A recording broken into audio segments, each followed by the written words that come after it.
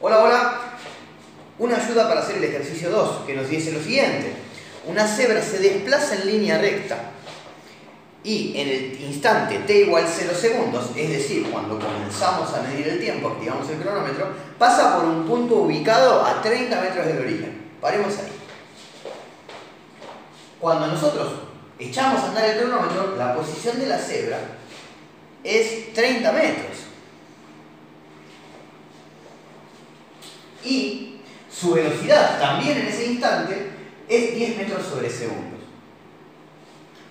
También nos informa que la aceleración, la aceleración es más un metro sobre segundo al cuadrado. Y mm, podrán decir, pero no era necesario que pongas el más. No importa, lo pongo para enfatizar que como es una magnitud vectorial, apunta a favor de x si es positiva y en contra de x si es negativa. Entonces, si la velocidad apunta hacia la derecha porque es positiva y la aceleración es solidaria con dicha velocidad, va a ir cada vez más rápido o cada vez más despacio. Va a ir cada vez más rápido. Y ahora sí, vamos con el ítem más, que nos pregunta, ¿qué significa que la aceleración de la cebra sea un metro sobre segundo al cuadrado? Significa que su velocidad va a subir ¿cuánto cada segundo?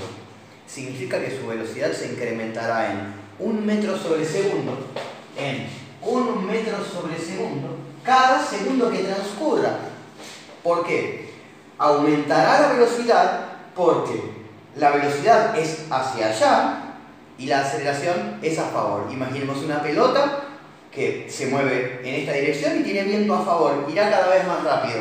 Este es el caso. Entonces, si parte con una velocidad de 10 metros sobre segundos y gana de a 1 metro sobre segundo cada segundo, al cabo de un segundo va a 11 metros sobre segundos. Ganó una unidad de velocidad. Al cabo de 2 segundos va a 12 metros sobre segundos. Al cabo de 3 segundos va, bueno, predecible. Entonces podemos hacer una tabla. El tiempo y la velocidad. 0 en el instante inicial va a 10 metros sobre segundos. En el instante t igual a un segundo, aquí voy a aclarar t y, aclaramos en segundos, velocidad aclaro en metros sobre segundos, así no pongo la unidad en cada número al, cabo de un segundo, la rapidez, la, perdón, la velocidad es 11 metros sobre segundos. Al cabo de 2 segundos, la velocidad es de 12 metros sobre segundos y así sucesivamente. Entonces, esto significa que la aceleración sea 1 metro sobre segundo al cuadrado. Un ejemplo bastante claro es el ejemplo, de, el ejemplo siguiente. La aceleración de la gravedad es 10 metros, mentira, es 9,8, pero no importa. tomemos que es 10. 10 metros sobre segundos al cuadrado. Significa que si tomo un objeto y lo suelto, al cabo, si parte del depósito, al cabo de un segundo va a 10, al cabo de 2 segundos va a 20, al cabo de 3 segundos va a 30. ¿30 qué? Metros sobre segundos. Reitero. Parte del reposo, al cabo de un segundo va a 10 metros sobre segundos. Al cabo de 2 segundos va a 20 metros sobre segundos. Estoy hablando de la rapidez porque como no informé de un sistema de referencia, simplemente les digo cuán rápido va, para que se entienda que en este caso, el de una caída, la aceleración es 10 metros sobre segundos al cuadrado, lo cual significa que la velocidad, en el caso de ir hacia abajo, va a ir creciendo a razón de 10 metros sobre segundos cada segundo. Si bien este ejercicio no se trata, quiero traer un ejemplo que conocemos, nosotros ya sabemos que los cuerpos caen cada vez más rápido.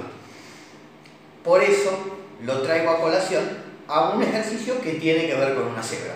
Así que fue un paréntesis para el ítem A para buscar otro ejemplo de aceleración, el cual conozco. ¿no? Una moto que va cada vez más rápido o un objeto que cae cada vez más rápido. Muy bien, vamos con el ítem B. Explique por qué se lo llama a este tipo de movimiento uniformemente variado. ¿Por qué uniformemente variado? Veamos la tabla. Al cabo de un segundo, la velocidad subió de 10 a 11. En el siguiente segundo, ¿cuánto va a subir? De 11 a 12. Y en el tercer segundo, 13. Así que del segundo al tercer sube 1. Entonces, cada segundo que transcurre, el salto, el incremento de la velocidad, ¿va cambiando de manera aleatoria? ¿Da cualquier cosa? ¿O siempre es igual? Un, metro sobre segundo, un metro sobre segundo, un metro sobre segundo. Es decir, que la variación es uniforme o no uniforme. Es uniforme. Significa que cada segundo que transcurre, la velocidad se incrementa en un metro sobre segundo, en un metro sobre segundo. Y esto es justamente MRV, uniformemente variado.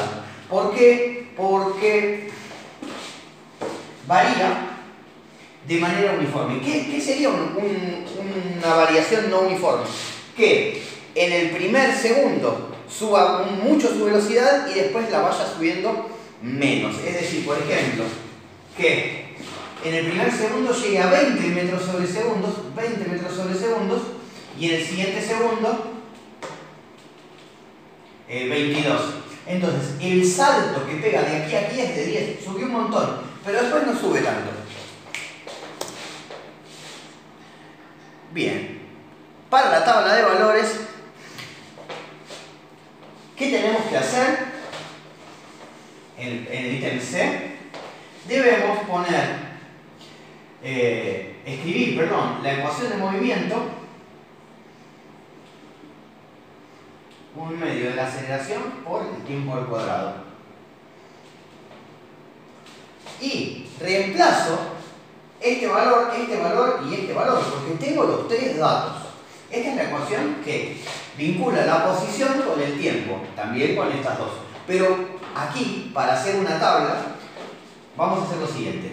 La posición, que depende del tiempo, es 30 metros más 10 metros sobre segundos por el tiempo más un medio de la aceleración, que es un metro sobre segundo al cuadrado por el tiempo al cuadrado. Mi letra no es muy linda, pero lo tienen en el apunte.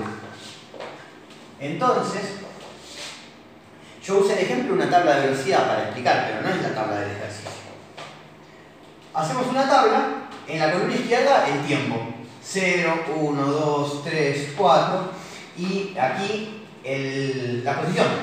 Entonces, ¿cómo hacemos? Tomo el 0, lo reemplazo acá y acá. Lo hago. Más de 10 por 0 es 0. Eh, reemplazo aquí el 0 y da 0 también. Bueno, entiendo que esto no es muy prolijito, pero lo tienen hecho en la guía. Simplemente quería aclarar para ayudar a interpretar lo que está escrito. Dado que que están preguntando cuál es el material teórico y demás, eh, que es el libro de la cátedra, el libro teórico de biofísica. Así que dice biofísica en la tapa y es el, material teórico. Eh, bueno, mientras lo encuentran o se ponen a leerlo, eh, quería darles una mano para aprender el ejercicio. Chau, chau, manden dudas.